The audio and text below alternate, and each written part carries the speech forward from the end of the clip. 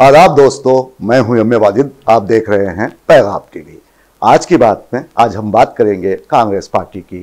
दोस्तों, आप सभी जानते हैं कि किस तरह कांग्रेस पार्टी ने 2023 में गुलाबी पार्टी को शिकस्त से दो चार करते हुए कामयाबी हासिल की और रियासत की बागडोर संभाली।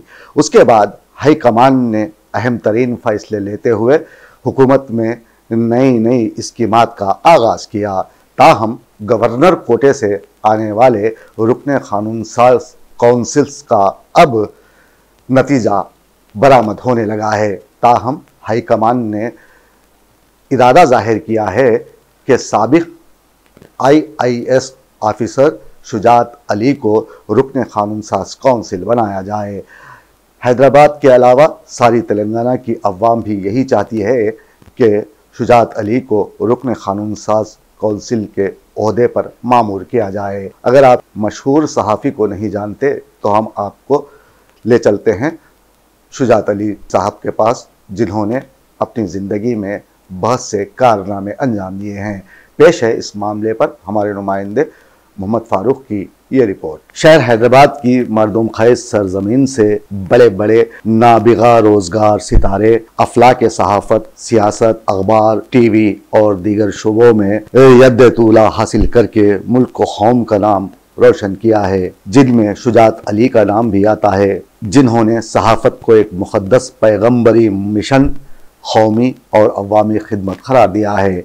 हमने जब सहाफत में ख़दम रखा था तो ऐसे हालात में शुजात अली हमारे आइडियल हुआ करते थे। हमने उन्हें देख देख कर बहुत कुछ सीखा है।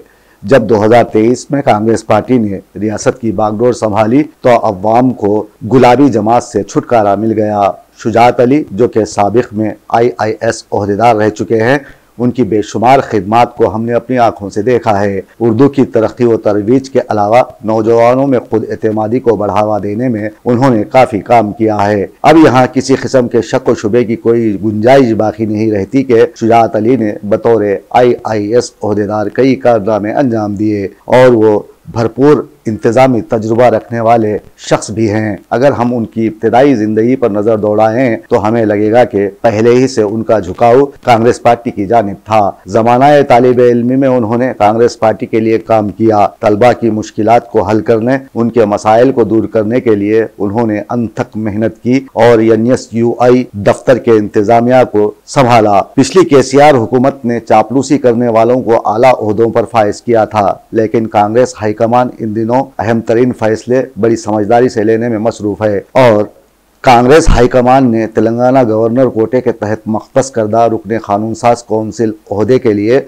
मशहूर व मरूफ हरदिल अज़ीज़, मुमताज़ सहाफ़ी, अवामी जहदकार कांग्रेस लीडर शुजात अली के नाम को अव्वलिन तरजीह। दी है। शुजात अली इन दिनों कांग्रेस पार्टी के तर्जुमान हैं। जानी पहचानी अवाम में मकबूल शख्सियत हैं और वो अपने फैसले बड़ी समझदारी से करने में महारत रखते हैं।